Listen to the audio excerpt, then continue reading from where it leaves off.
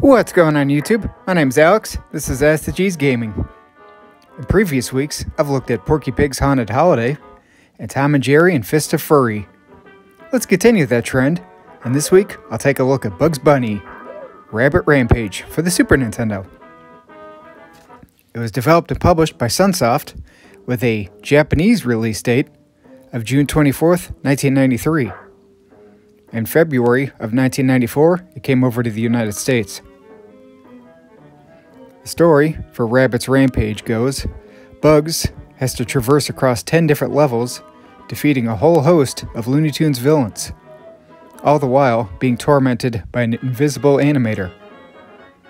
All of the levels, characters, and villains in this game are loosely based around the Bugs Bunny cartoons, and the majority of them are all either pulled from or directly based on some of the cartoons written by Chuck Jones.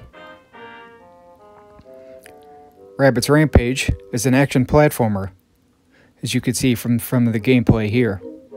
Bugs can jump, kick, throw pies, or drop items at enemies. The sprite work, backgrounds, and details in this game are all absolutely phenomenal, and very reminiscent of the original cartoon. Now sadly, however, the controls in this game are not so good. The Bugs Bunny sprite is rather large and lanky, which can make jumping feel horribly floaty. Even more frustrating can be the fact that a lot of times enemies can't immediately be hit, jumped on, or kicked. On a side note, you can somewhat customize your own button layout to fit your preference. Now next, I'd like to touch on the music and sound effects. I will say that the sound effects in this game are charming and absolutely wonderful. And for the most part, they all appear to be pulled from the cartoon. The music is a different story, however. It's...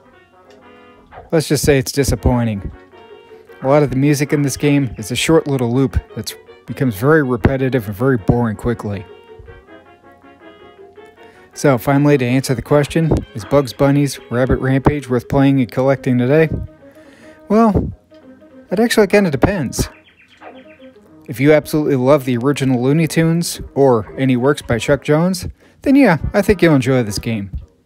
But just purely as an action platformer, you can find far better elsewhere. Even for a game that goes with price starting at $10. If you have a request for future game review, comment below.